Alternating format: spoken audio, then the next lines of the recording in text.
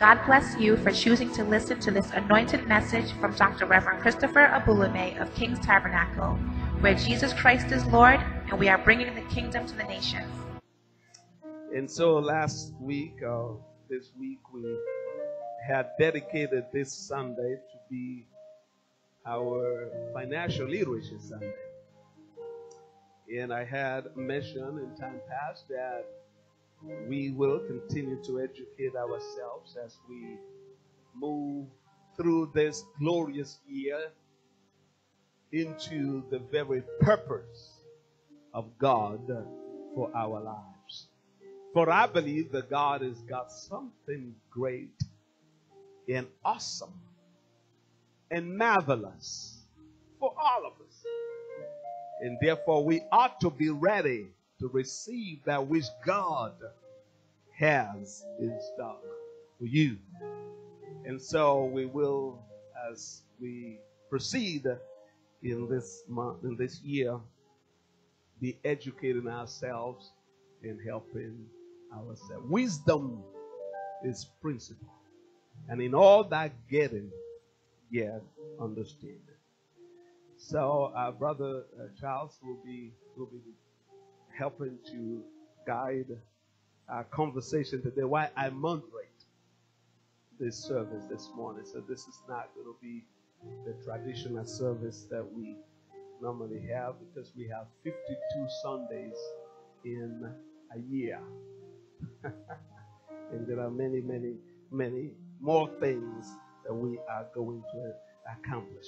So I'd like you to open your scripture to Matthew chapter 25 as we set the stage this morning to see what God speaks through his son, Jesus Christ. And the parable here, the lesson here, ties into our stewardship as expected by God. That everything that we have is not ours, but God's. But has made you and me to be custodians of those things. Whether it be wealth or whatever, the Lord has blessed you with. And as the Lord deposits these things in our hands, He expects of us to do something about it and do something with it. When the Lord gives you a gift, He gives you a brain too on how to use it. If He anoints you, He gives you wisdom how to use your anointing. If He blesses you one way or the other, He gives you the knowledge to use. And in the end, you and I will have to give an account of everything that God has blessed us with. And so we gain knowledge from the Word of God for the things that are written are written for time, so that through the patience and comfort of Scripture we may have hope. It says, written for our learning. God has given us quite a wealth of material. I was speaking to somebody the other day and said, Pastor, y'all, y'all Christians got so much wealth of material. You got 66 books. And you can't tell me that you don't get wisdom out of 66 books. He's a lawyer. And so you, you and I have 66 books that we can learn from every day. And it's up to you whether or not you're going to learn from it. You can keep on the shelf and let it gather all kind of dust. That is totally it. But you can get into it and gain wisdom from the Word of God. So, beside the Word of God, people around us can impact wisdom in our lives. If I care to know wisdom. When you surround yourself with fools, not too long after that, you will be like one of them. But when you surround yourself with wise men, not too long after that, you'll be like them. To really depend on who is in your life. And our lives are what they are by the choices that we have made. God is good all the time. But we make choices in life. And I was studying under somebody who was teaching developmental psychology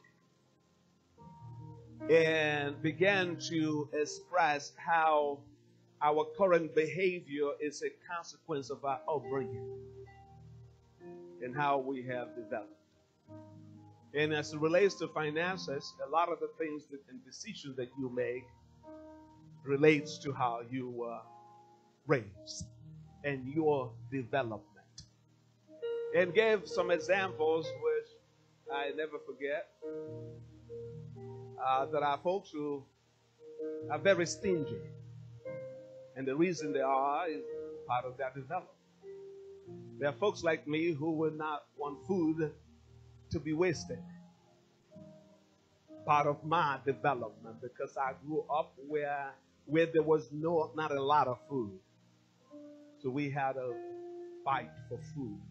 So even now, wasting food is not what I do. And some of you probably like me. And there are those who hoard things. Because in their growing up, they didn't have a lot. And they always think that somebody is going to take away the little that they have and therefore keep them to themselves. And there are those who think that bigger is better and would always seek to get that which is bigger than everybody else. I want to get big house and big cars and big bicycles. Because in their own development, they thought that big things are always better, so they equate big to better.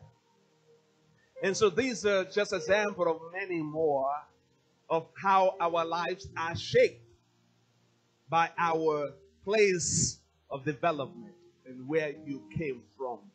And so the choices that you make would impact how you manage that which God has given to you.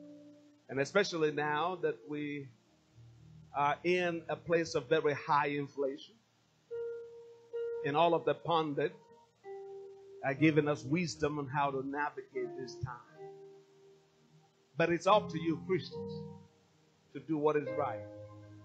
And I've learned that as long as I live in this world, that's called a system. And I need to play by the system, even though I'm a Christian. Uh, sometimes Christians are too heavily conscious that they become earthly useless. And so, how we relate with this system will determine how successful we are. God has his part to play, but you have your part to play too. God doesn't do every single thing. He will not turn on your television. Doesn't matter how you pray. He's not going to load your dishwasher. Doesn't matter how you pray. That's your my responsibility. It's not going to cut your lawn. Doesn't matter you're a bishop. You have to get that lawnmower or pay somebody to cut your lawn. He's not going to clean your yard or clean your room. You will have to do those things. But he'll protect you from evil. He'll stand against the powers that want to stand against you. He'll do the things that I cannot do. But that which lives within the realm of my possibility, God this desire that I do those things. So when I don't do those things, then failure comes. Because failure is compounding of different failed decisions that you and I have made. Doesn't happen overnight. Whether you run business, or you hold a job, it doesn't matter. And in all of these things, God requests and requires that we'll be faithful. He said it's required in, in stewardship that a man or woman be found to be faithful. So the question is, how do you handle your money? And somebody said the other day, he said, if I were to look at your bank account and I see how you spend your money and how you give your money, I can tell exactly who you are. I can tell exactly who you are. And so God wants you and me to be faithful in the area of finances. And it's easy to blame God. And easy to blame other people. They say, well, Christians are not loving enough. Because the other Christian man, Christian woman didn't empty his own bank account and give them all to you. When God has blessed you with something and you have not been able to handle it good. And over years, you wasted it like that prodigal son. and expect God to perform a miracle. But remember, the prodigal son had to return home. Rather than blame anybody, return home. Then I, I need to return back to God and say, God, I need wisdom. Wisdom to be able to handle things. You know, the Bible says that as long as the earth remains, that there will be seed time and there will be harvest time. It's a principle in nature. Remember the days of, of Joseph. There were seven years of plenty, followed by seven years of famine. But Joseph had to use the wisdom of God during the time of, fam- of plenty to prepare for the time of famine. All of us, all of us here today, one way or the other, you're going to experience either of these extremes. There will be sowing time in your life. There will be harvest time too. There will be time of plenty. There will be time of harvest. So you got to be prepared for those things. Not a time of blame. And I said this before. You can't have a, a harvest time attitude when you are in seeding season. You can't.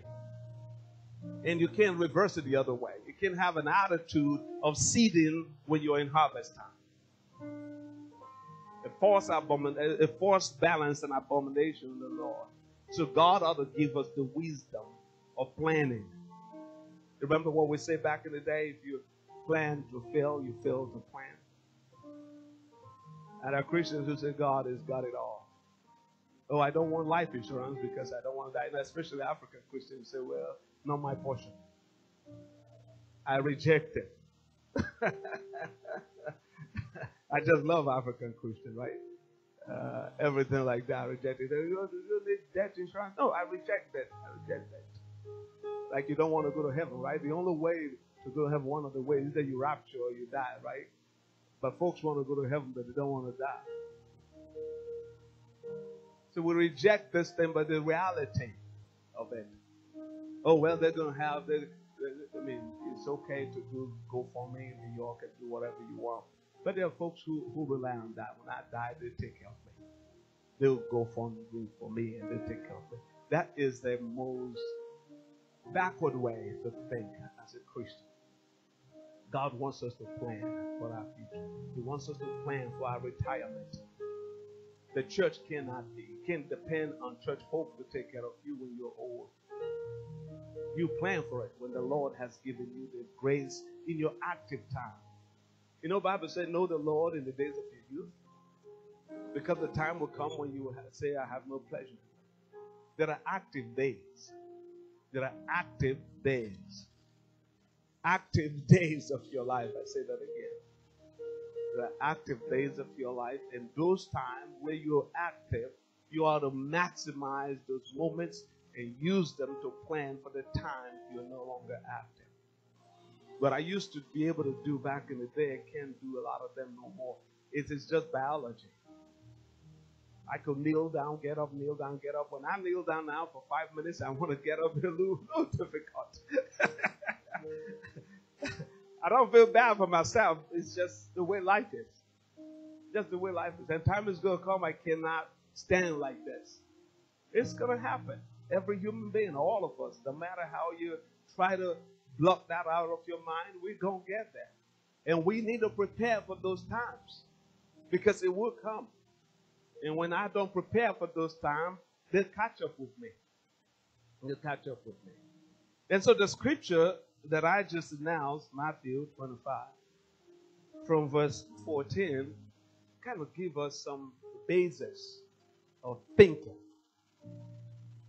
And Jesus said, For the kingdom of heaven is as a traveling man into a far country. It's a traveling man into a far country. Very far country he goes. And, and if the brother can find the English Standard Version, if you can find that, yeah, I would appreciate it. But if not, that's fine. We'll read the King James because that version kind of gives us more flavor to this story. It says, And the kingdom of God is as a man traveling into a far country who called his own servants and delivered unto them what his own goods or treasure or money gave to them. And in verse 15, and he said to one, he gave he He said, Unto one he gave five, five talents, five weights of treasure, or what we call today money. This was written at the time, way back when they didn't have dollars, but today it would be weight of money. And he gave them five of them. And then to another he gave two. And to another he gave one. Five is more than two. Two is more than one. But he distributed to all of them three. And so there's not a man here or woman here whom the Lord has not gifted while he brought you to this world. You just need to find your place in God's plan. And so it continues to say, and to every man according to his several ability. So each of us has different ability. You all, you have your own ability. You have your own wisdom. And when I lack, what it say? He that lack wisdom, do what? Let him ask of God. So there's some people who lack wisdom. It's not a bad thing when I when I feel that I lack wisdom. If I don't feel like asking God, I cannot ask God because um, I don't have that relationship. Then I borrow from people. I pay others to do for me. I pay others to do for me. He that lack wisdom. So some people lack wisdom. It's not a bad thing. It's just what it is. And he gave to them according to their own ability, according to your ability. There are certain things you cannot do. There are certain things I cannot do. And I need to be sincere with myself that I cannot do it. And then have somebody help me do it. And that's why we have financial planners, right? When you cannot plan your finances because your outgo is more than your income. And that's simple arithmetic, right? When, when your outgo is more than your income, you're running negative. And you can only run negative for so long before you begin to crash. So when my outgo is more than my income, because I lack the wisdom to manage, then I start to ask God for the wisdom or find somebody who has the wisdom to help me and be willing to do that. And so the Lord gave them according to their ability. And straight away, he said the master took a journey and left them three to their own ability. Left them three to their own ability. You know, there are Christians who tell, well, we spend it all today, God will take care of you tomorrow. Wrong. Wrong. Oh, yeah, he will supply all my needs according to his riches and glory by Christ Jesus. Wrong scripture. Wrong scripture. Can't spend it all today and think that he will supply all your needs according to riches and glory by Christ Jesus. You're going to be begging. Doesn't matter whether you're a pastor or your bishop, does not matter. Scriptures had to be for the reason the scripture was written. Can't just pull scripture from the Bible and claim it and name it and think it'll happen. Otherwise, all of us will be so blessed and will need nothing. We'll be in no need. Because there's, there's abundance of scripture for you to quote and name and quote and name to bring wealth into your life. But it's not just that. He left them with the treasure and said, Do whatever you want to do with it. Didn't give them no blueprint. You have a job, you make $15 an hour, $17 an hour. God is not going to tell you how you apportion your $17 an hour. That'll be up to you. You make, make $100 an hour, God is not going to tell you how to use your $100 an hour. He's not going to tell you how to pay your tithe, your 10%. It's up to you. You can decide, no, I don't want. And you can decide, blow it all up. You can decide, make purchases that don't make sense. You can decide, do anything with it. It will be up to you. But guess what? He's coming. The day of reckoning will come. And the day of reckoning is not only the last day, it could be next month when you have nothing and nobody will give you nothing. Then the Lord will allow you to learn a lesson that whatever He gives to you, you need to Be wise it. And you cannot blame them Christians say, well, they don't love me. That's why they don't give me.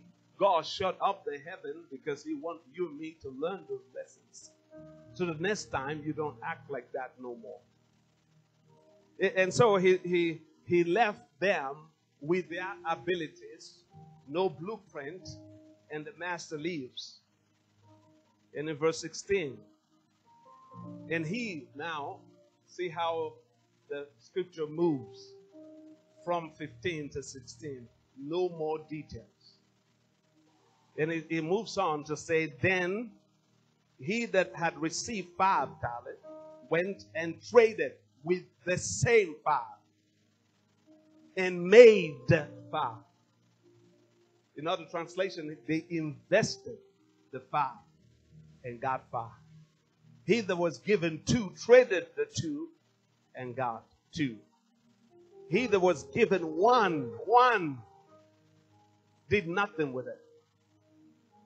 And as you read the scripture, the Lord was unhappy with the one that had one because he heeded, did nothing with it. Now imagine if he had spent it. Even though he did nothing with it, God was not happy. Then imagine how God would have felt if he had spent it. So that tells me how serious this is as I read the scripture. So the one that had five made investment, got five back. Had two, made investment, got two back. Got one, he did nothing. And the Lord took from that person that had one, gave it to the one that had five. He commended them. The one that had two, the one that had five. But no commendation for the one that had one. basic principle that everything God has given to you and to me is for you to get a return from it. A return from it. And it take your wisdom. He left them with their own ability. Nobody told the guy who had five what to do with it, who had one what to do with it, who had two what to do with it. They were left with their own ability.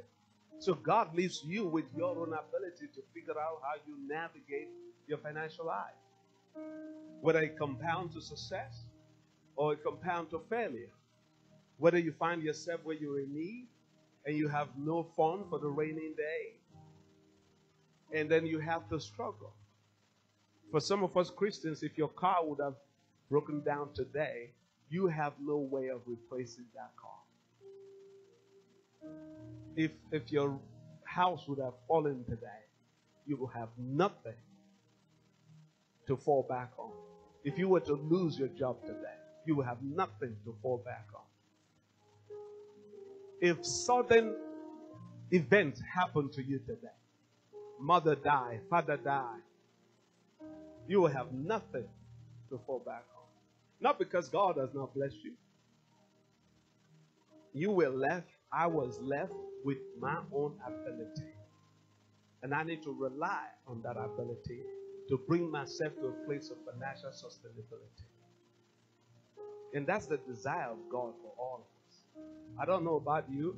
Most of us, some of us here came from a very poor background. Didn't have a lot. Some of us, most of us here are immigrants. Came from far countries. How much would you bring with you coming from a far country? Just graduating from school. You probably came with a suitcase and some few pieces of, of personal effect and and maybe some dollars. But over the years, the Lord has helped you to get to where you're at now. And God wants you to continue. Because He's not going to do those things for you and for me. And so today we're trying to learn what are the secrets of success and being able to be successful financially in this land. So that when you are old or when you return to where you came from, if you want to, then you have something with you that the Lord has blessed you with because you have used your wisdom. So I would uh, ask our brother Charles because he has been in the financial world for a long time, and over these years he's gathered some knowledge. And I'm sure that he'll be a blessing to you and to me today while he goes through some of the things that we ought to know as Christians. And hopefully, when you leave this place today, you begin to practice those things that help you to get to a place where you're not having to struggle through life. And that is my goal this year. That all of us Christians who are here will come to a place where you're not having to struggle through life. Not just you will bless me, press down, shaking together, running over. Those are great scriptures. They're good. It's more than quoting scriptures. It's more than that. There's a work that you need to do. There's there's there's a place where you have to rise up every day and go to a place where you get paid at the end of the week. And you have to do that. Otherwise, you might just die. All right, my brother, take it from there. Let's go on. And I'll be moderating today. If you have questions, keep them at some point. I will ask that we ask those questions. Praise Jesus. Praise the Lord. All right, I have a sermon on this. So, since Pastor didn't do a sermon, I have a sermon. Anyways, um, Brother Charles, for those of you who don't know, and like the pastor said, uh, I've been in the financial world for over 20 something plus years, so two decades. And uh, this is someone who actually uh, started up in a way of uh, going into medical school. Um, in the uh, boarding school that I went to, I was placed in a medical class, you know, where, but I guess I didn't love reading like that then when I was younger. I loved to play. I played a whole lot of sport, host of sports that I was so good at. So I enjoyed myself in playing. So reading to be in the medical school, you have to read a lot, and I was like, I was good with numbers, so I didn't need to read, just know the formulas, boom, boom, boom, done. So I had that inclination towards math and um, numbers. So I would help people on the other side in the accounting and financial side, whereas I was in the medical. So eventually, my dad was going to science, going to computer, so I went into computer science and all that. I didn't love it because I love to interact with people, talk to people. So I felt okay coming here to do my master's in finance was going to be a good thing. I can advise people and all that, so that's how I went into it. And uh, I recall very vividly. I think I heard Pastor talking about he doesn't like waste. I the same. It wasn't like we didn't have enough. We did, but I just don't like it. It's like why are you wasting things? You're not a good custodian. So it was just something like that. I felt like instead of wasting, why not utilize it in other ways and all that? Because there are other people needing it. So um, I went into finance, and I recall very vividly during my wedding in 2005. A host of my friends were like, "Oh, let's do it this way. Let's do that, you know, wedding." So it was all about, "Oh, let's pull this resources, do this." I said, "Okay, who's paying for this?" I said, "Well, it's you. It's your wedding." I said, "No, this is what I have, and this is what we'll spend on it." And they were like, "What?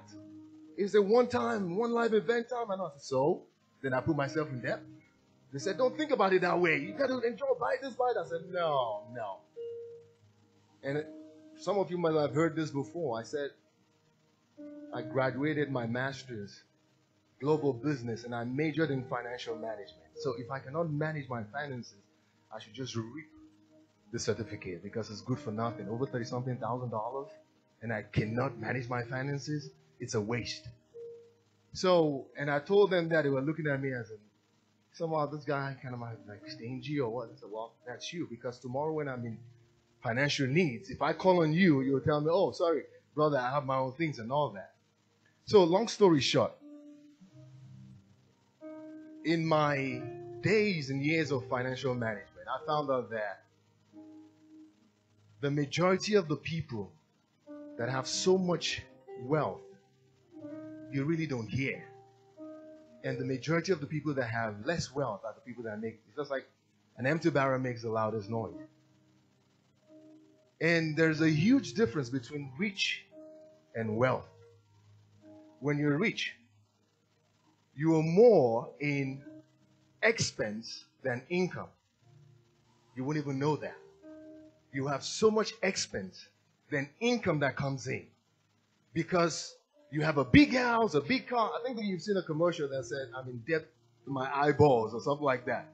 That's a rich person. But a wealthy person has more in income and less in expense. And I hope this is where I would help us get to today. Maybe not today, but at least you start thinking in that way. So, financial literacy.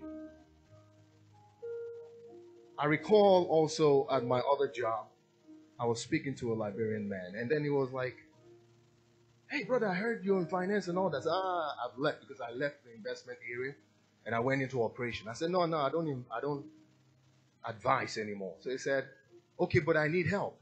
I have, it was almost retiring. I said, Okay, let me look at your finances and all that. And so he showed me that. I said, Whoa, what, what are you doing here? You should be diversified right now off of this aggressive funds and all that into more safety because of your age. And he was like, What do you mean? I, actually, I explained to him, I said, But I'm not going to advise you. You have to call where the 403b is and talk to them and have them move the money into this area because luckily I saw him last month. No, yeah, this month. We're almost at the end of this month. And he was telling me, Thank you, thank you, thank you. The market went crazy, and thank God that my investments I still save. I said, Good. So the other thing now asked me, he said, I'm trying, I said, you should be done paying your house by now. He said, no, because I extended. I said, why? Okay, you can still extend it, but you know what? Pay more into the principal. When you pay more into the principal, you, you know, and he started doing it. And, and see, that's the thing. You need to know where you lack. If you don't know where you lack, that's a problem. So you need to know I lack in this area and I need help. So I'm just going to run through financial literacy. I want to leave time for questions. So some people are comfortable with living paycheck to paycheck.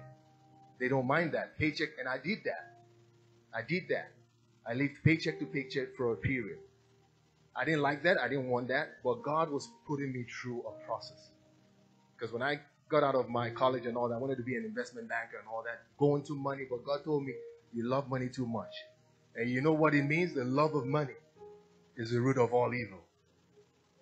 So, and God knew that I might have just served money more than Him, and that's why He kind of trained me through that area where I lived from paycheck to paycheck. In fact, there was a time that I maxed out all my credit cards and all that. You know what? Still faithful to God in paying my tithes. Maxed out my credit card. But when God started processing that, I was able to pay off all that because I knew that it was just that situation we have to learn to increase our wealth. What I mean by increase our wealth is increase our income. And when you increase your income, even though right now you might not be making enough, think how can I make more? How can I make more? Do I need to go to school? Be ready to go to school and educate yourself and push yourself more to be in a better bracket. You have to think about that. Eh, you don't have to go nowadays in America, you don't even have to do a full four year school and all that, you can take a certification that can help you out. You have to look for how to increase, especially now that you're young enough to work. Because there'll be a time that your body is so weak. I look at my dad now.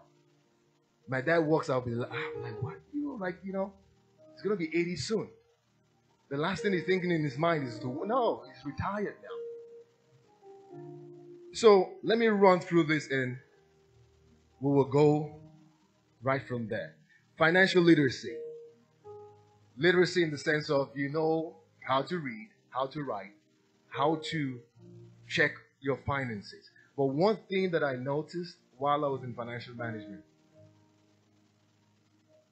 well, maybe because when I dealt with the white, it was different. But when I dealt with the, you know, Hispanic, African American, you know, Africa itself, when you sit them down, in order to do a thorough financial, just like when you go to a doctor, a doctor will check every vitals and everything and all that, take blood tests and not be able to tell you what. But so you need to sit down and do the finances, ask questions and all that. When you start asking some questions, they're like, don't worry. Leave that alone. But you can never give an advice without knowing the total view of everything. And some don't like you when you tell them you shouldn't be spending money here or spend money here. Like, I work hard for my money. Why are you telling me where to spend spend money? But that's the thing. I had a a director then. She was spending over twenty something thousand dollars a year. She didn't even know that. On what? Starbucks coffee. She used to drink two to three each day. So we had to say, okay, listen. Or the financial advisor had to say, listen, you can buy this espresso at home, brew it and all that, and then she cut it off to about 5,000. She wasn't even talking about that. Wow, she didn't know. Imagine that. That's where she lacked. But luckily, she got an advice and she helped herself with that. There was a survey, which is a S&P survey. It said 70, uh, 57, sorry, percent, of adults are financially literate. And it's even worse off when you go down. The younger generations, they don't even care because daddy's got it, mommy's got it. They give me money left and right, you know, phones, everything that they have, gadgets and all that. Dad, mom pays for it. So they don't even care. And that's wrong. We have to teach them. And why? He said, never taught in school. Like I said, I was never taught in school too. But luckily, I love numbers and that kind of help. And I recall then when they get, I went to boarding school. When they give me money, I won't spend it all. I would keep and even buy things to take home. But it was a wrong thing to do because they now said, if you have money to bring home, that means you have too much money. I said, oh, mistake. Next time I'm. So I rather kept the money rather than buy something coming out. So, but yes, never taught in school.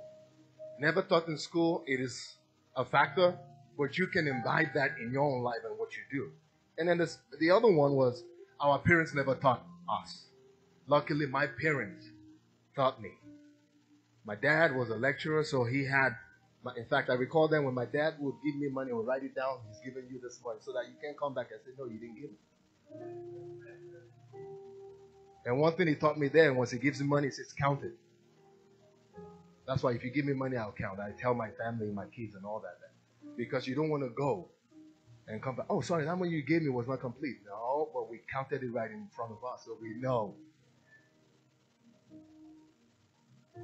So he taught me. My mom taught me. And then the third one was spe- spending lifestyle. There's a lifestyle already that I need to dress like this. I need to. Yes, it's true. It's good to dress good. But if you don't have it, you cannot keep up with the Joneses. Live according to your means. And then the last one that I have here says the attitude towards money, which means I worked hard for my money. I know someone that,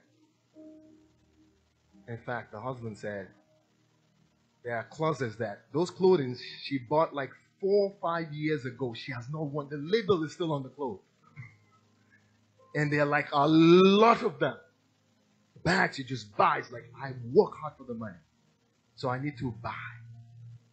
Macy's and everything and buy, but it's true you work hard for the money, but you can save also for the money.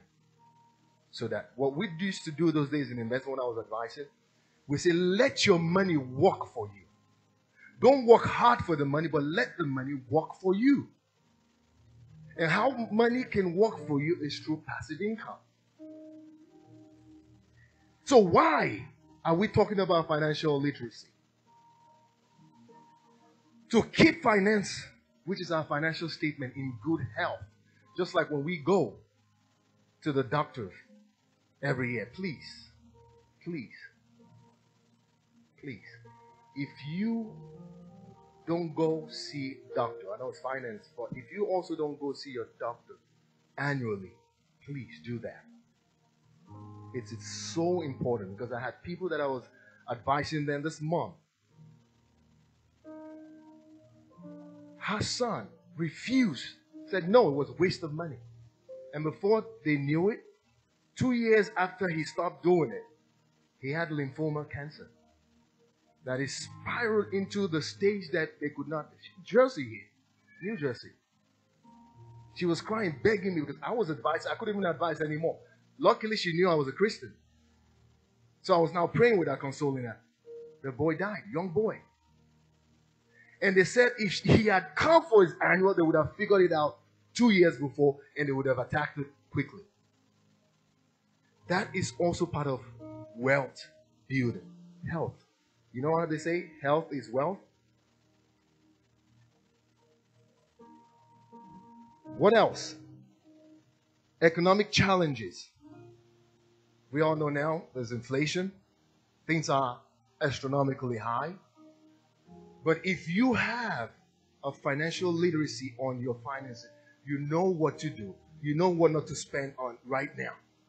The coast might be clear later on. When the coast is clear, then you do what you need to do. But for now, you hold off.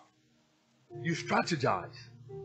Just like we say in the investment world, diversification. Diverse, diverse, diverse, diverse.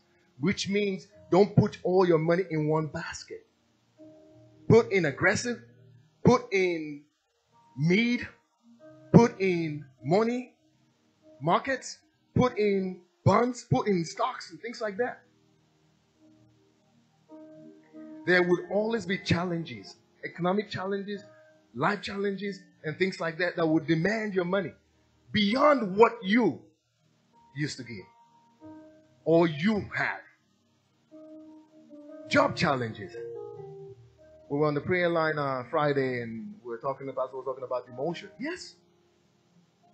There are demotions sometimes. There are job losses sometimes.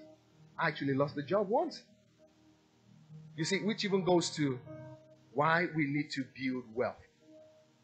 When I lost my job, which was due to COVID, yeah, a lot of people lost jobs due to COVID then because my market was uh, New York and New Jersey and Philly, and they were decimated because it was small business. But what happened? God gave me peace because why? I had built wealth already. So my passive income was what was taking care of me that period. In fact, I even said, you know what? I'm someone that I can work three jobs if you give me the opportunity to work three jobs. But I said, maybe God is telling me to rest for the next phase of my working life. So I kind of rested one month. I was rested. I mean, I was restless though because I knew I, I needed to work. I'm that kind of a person. So, but I strategized, prayed, and when it was ready, God gave me a job with almost double the money I was making before. And that's the power of God. But the key thing was I had built my wealth. That I didn't even feel it. I remember the state calling me, telling me, hey, they'll put me on this. I just laughed. I, said, I looked at how this is what you want to pay me? Thank God. you see, sometimes people want to rely on the wealth. Welfare is no, no, no. Welfare is slavery. I tell you, it would enslave you. You can do better than that. And when we're talking about building wealth, we're not talking about just building wealth for yourself because the wealth is generational. When you talk about people like the, you know, uh, Carnegies, you talk people like uh, uh, Schwab's, you talk to people like, uh, uh, what's his name? Um, Bill Gates, you know, the Waltons and all that. Those are people that have built wealth. There are people those days we used to call in an investment, we used to call them trust fund babies. These people are trust fund babies because what? They were born into wealth. And if just, in fact, I, I remember having a client when the grandkids, grandkids have babies, she just boom, 50,000 into the account for just one baby, boom. So one had seven. I said, if I had a, gra- a dad like that, I will have 50. I'll just keep having babies. I'm like, wow. All right, let me go in that succession because I, I want to give time for questions. Again, people are living longer now. The healthcare is good now. They can diagnose things quickly and all that. People are living longer. So because we're living longer, we have to plan towards a longer living. What happens during that period when we are still alive? What happens during that period? Financial products. Financial products are so diversified right now and complex. So sometimes you don't know what it is and you mistakenly think this is it. And so I'm not going to lie to you. We had people in the financial industry that time that would tell you what they want to tell you, know, because they want to make sales. It's all about sales. They will pull you. And that was one thing I recall one time my, my manager was saying, You should have sold that thing. I was uh, one point something million dollars in New York for a, a Jewish guy that I wanted to close. You should have sold it. If you had sold it, you would have made about almost thirteen to fifteen thousand dollars in bonus on my sales bonus for that quarter. We're not talking about even for that quarter. But I said no. I need to speak to this person live. He, he cannot leave me in the financial world. People cannot leave you on a recorded line and give you sales and you, you know, follow on. No, that, you have to speak to that person live. I said, no, he left it on the message. I cannot. He said, no, just do it. You know that. You call him back later on. Because if I make sales, he makes sales too. But luckily, I didn't follow through because eventually he was fired with other people that he had told to do.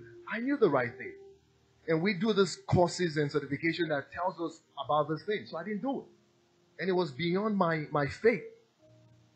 I lost it.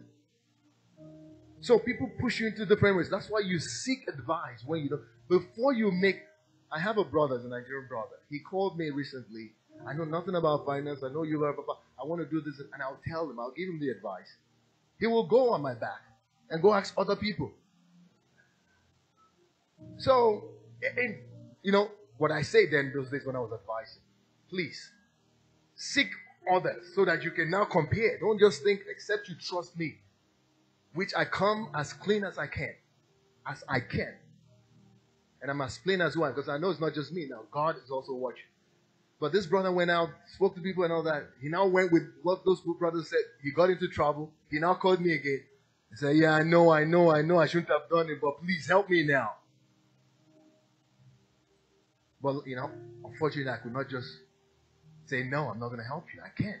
God has given me the uh, the gift and the grace. I had to do it. So, but luckily, he left a very wonderful text, you know, that, you know, I probably will read it out to you all. He left a very wonderful test that after everything was settled and everything worked out for him, he was like, wow, truly, you're a, a man of God and God really uses you, my God. You know, but anyways, let's jump back to. Then we have limited government su- support. We see now the government is in trillions of dollars in debt. And it's still going to go, they still want to write more, print more checks. And you see, government support. If you're expecting the government to bail you out when you're older, when you're retired, uh, you are in for a shock. So you better take care of it because government is taking care of themselves. You take care of yourself. Do what you need to do to take care of yourself. And that's why we need financial literacy. So now, how? Key, you have to start budgeting. Budget is key to any financial advancement in your life.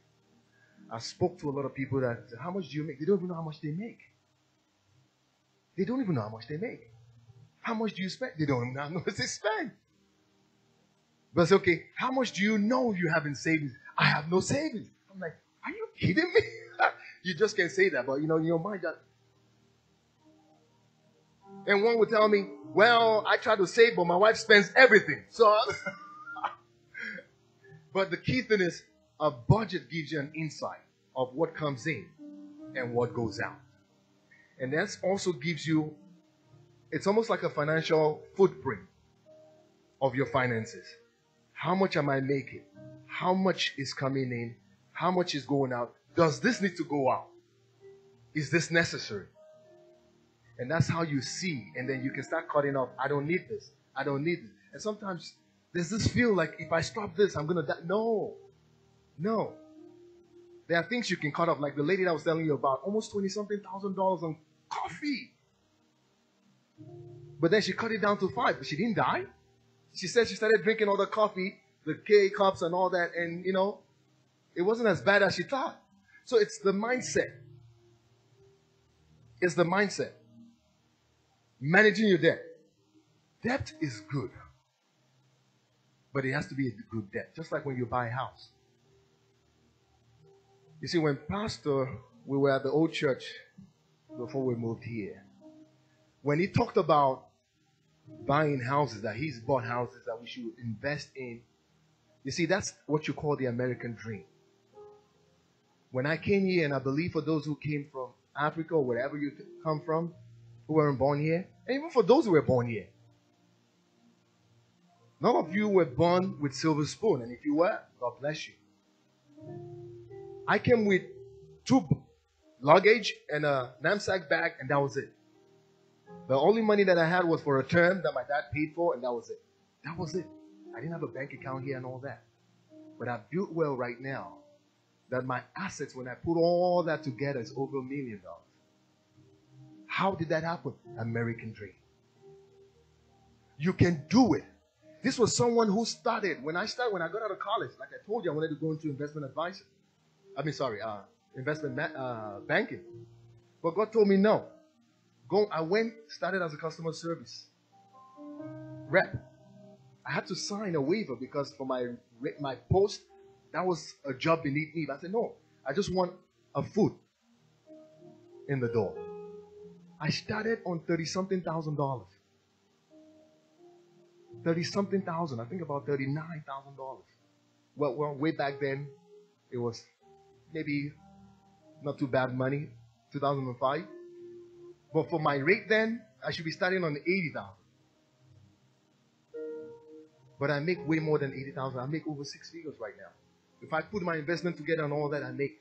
I'm saying that because I want to speak to you. I'm not here showmanship. You see, I have a BMW. Pastor knows.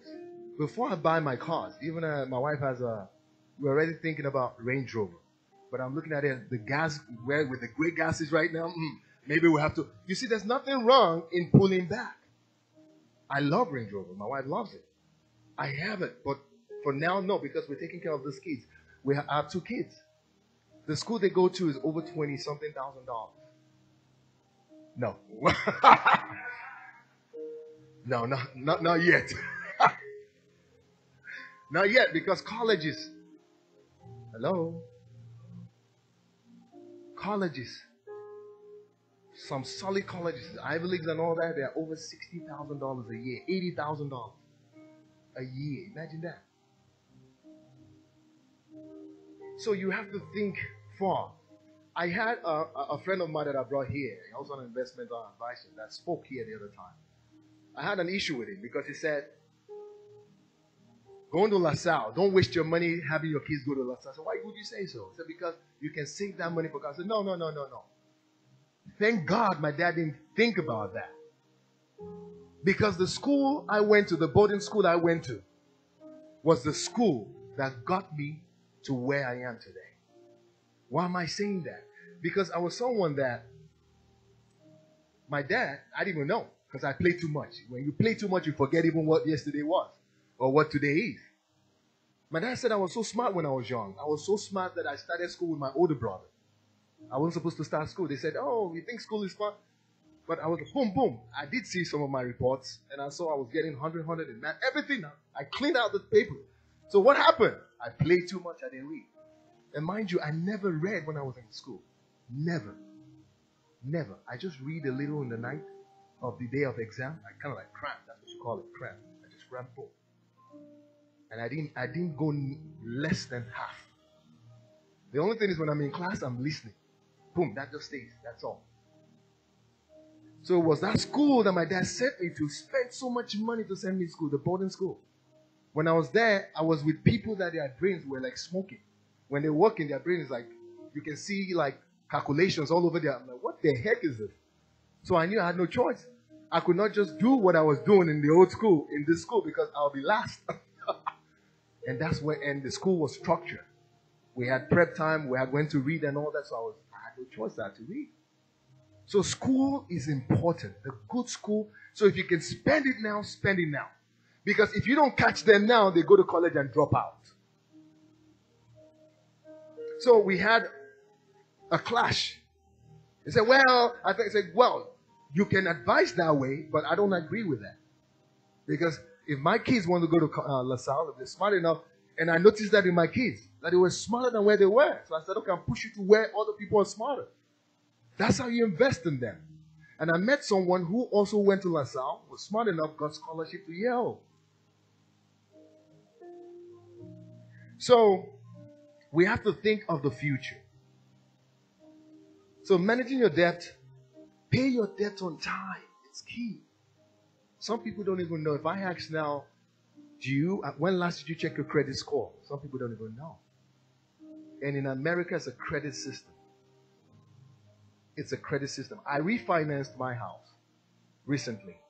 I looked at it I said, okay, based on what was going on, I can see inflation and all that. You see, when the government tells you all those things, I laugh because I've been in finance for two decades. I can see the writings on the wall. You see, that, that's why you have to educate yourself. Because the government are there all about policies. They're making po- they have people to help. Yes, it's true. But if you're not careful, they will help people at your own detriment. So you have to help yourself. So I saw the inflation coming in. And I said, you know what? I have to refinance my house. It wasn't bad. It was at 4 point something percent. But I said, I'm just going to go 15 years. I have the funds to do that. I went for my credit. I built it. Oh, going back to what I was trying to say before, I'll go back to this. When Pastor was talking about building, I mean, buying houses, I was building my credit that period because I said that was my next step. I'd even bought a book that told us, that tells you about how to buy foreclosed houses and things like that, and how to, like, you know, don't, you see, you have to be wise. Is it Luke? I believe Luke says that the children of this world are wiser in their generation than the children of light. I have a lot of people that don't know God. When, you see, I cannot talk about God when I'm talking to my clients, except they bring it first. They don't know God, but they have so much wealth than we. We, that God of heaven and earth, everything belongs to Him. God owns everything, but yet the children of this world own them more than we. Why?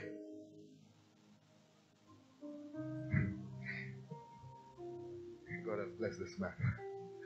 My pastor will say, Don't be earthly useful, sorry, heavenly useful and earthly useless. We have needs. God's work needs financing. And it is we that God will use. It will take a hard, hard God move to use an unbeliever to assist the church. But for us, it will be easy because we're doing God's work.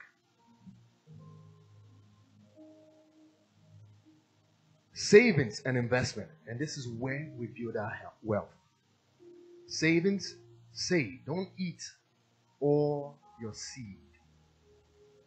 Don't eat all your seed. Save, invest. Invest in housing. I tell people, when you want to buy a house, the sad thing was I didn't do that because my wife said she didn't want to live with, you know. So I said, okay, yeah, let's just buy one house for now. But later on, we'll buy so somewhat our dream home. But I bought a foreclosed house where I didn't put so much into it. I just fixed it later on, put it into my taste or our taste. Buy a two, three family house where those people take care of even the expenses that you need to take care of. And then now you can invest that money and eventually you can even move to your own single family house and now leave that one and rent that out. There was a Liberian lady that I worked with when I was still in college. Uh, name is she actually came to visit to talk to her about housing. Uh, Michelle uh, Berry. She used to be Michelle Berry. Then she's uh, Michelle Davidson now. She was talking about. She said she bought her first home while she was in college. I said, "What? How'd you do it?" And she used to talk about the loopholes. People just leave live and all that. Even for college kids, when you go to college, look for how to work and make extra money. You can work in the school. You don't need to work so Good, you're working. It's good. You don't need to just take all this debt because when you come out, it's going to run after you because those debts are going to be looking at you in the face and they're going to be compounding interest on it. So the less you can, the best. And then when you buy these houses, you can expand, you can buy more houses and all, and it becomes a passive income to you. I have someone who has over 50 houses in Providence. Chinese. 50 houses. 50. He put his children into it and things like that. And it still works.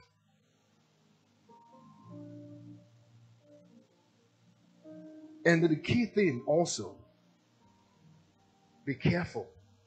Be very wise to spot fraud. There are those out there that don't want to work but want to take advantage of where you put money. Be careful of those that give you, oh, you can make 50%, you can make 75%, and things like that. Be very careful. Seek someone else to look through that thing with you. There's a lot of Ponzi scheme out there. All that you've worked for will just, and they do that to the elderly a lot. Unfortunately, they do that to the elderly a lot. In fact, there's a government listing that we even have to take while I was in investment that you have to protect them. And sadly, it is not even outsiders, it is insiders that happens the most. Children, uncles, aunts, things like that. So be careful about that. And lastly, so that I can entertain questions. I know there are small business people, but the two major ways you can actually build your wealth in America easily is housing, real estate, or stocks, security markets. The other one is very convoluted. You got to be very smart about it. There's so much in interest, I mean, sorry, in sales that they make and incentives that they make, the sales advisors and all that. But you cannot blame them because there's a regulation. You have to be licensed to do that. I, I lost all my license because I stopped. I don't want to even do investment anymore. I want to be more in operations. So those are the two key areas. But the other areas too could be franchising, small business, having your own business where you make money. You see, there's a quadrant. You're either an employee or an employer, which is a big business, or small business, also employed, or you're an investor. Which part of the quadrant do you fall in? If you fall in the employee quadrant, then you're living paycheck to paycheck. Except, and this is another key that people don't know, you can live paycheck to paycheck and also be able to build some wealth. You have to look into your 401ks, 403bs, or Cs. If you have a company that matches what you contribute, contribute.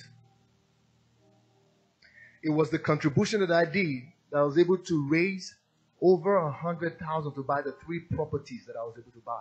Because when you're buying a property outside of your own first home, it's about 20 to 25, maybe low 15, but you hardly even get that.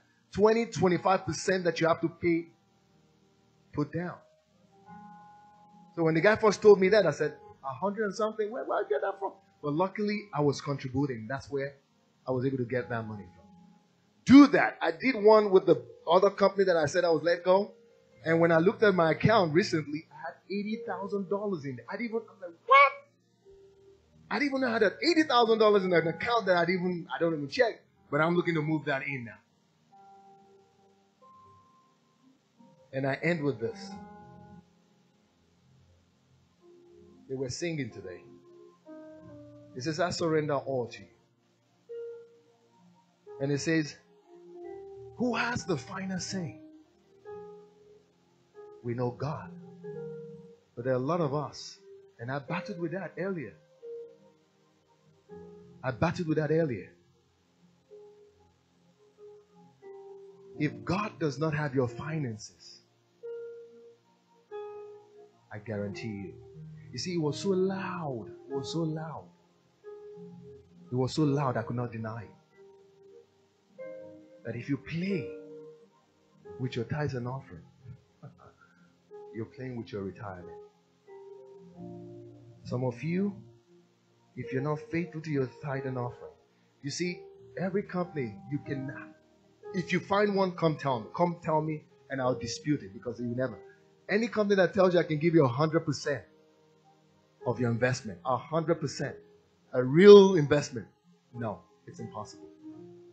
Why would they give you 100%? They need to take some too to invest more into their soul. they will give you.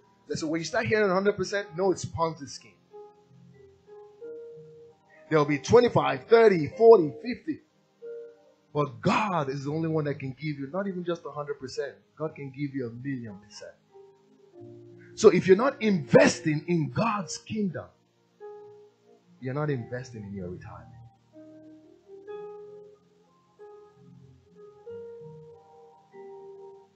Someone told me the uncle made so much money in California, made so much money, in fact, retired early.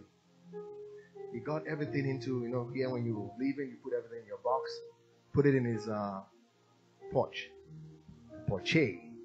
Car was driving, roof down and all that. Not too far, they heard. He was talking about Malibu, many other places was going to go, retire and enjoy. He had an accident and died. That's like the case in the Bible where the rich guy said yes, he has everything, his bands are full, he's going to eat, and God said tonight, your soul is required. I say this because I'm in a church. If you're not faithful to your tithes and offering, don't wait to retire and then say, oh, yeah, no, no. No. No. That is where you can invest and enjoy your retirement. Because sometimes you can have that money. If your health is not there, the money is a waste. You're just having the money and throwing it out in your wealth, in your health. You see, with God, you will never fail. If other investment can fail you, the market can crash. Even the housing can crash like in 2008. But God can never crash. If you have been blessed by this message or have a prayer request, we would like to hear about it. Please call us at 401 954 6188 or visit our website at www.kingstabernacle.org. You are also welcome to join us on Sundays for services beginning at 8:30, 10 a.m., or 6 p.m., and for Wednesday Bible studies at 7 p.m. We are located at 500 Greenville Avenue in Johnston, Rhode Island. Please remember that you are always welcome at King's Tabernacle, where Jesus Christ is Lord, and we are bringing the kingdom to the nations.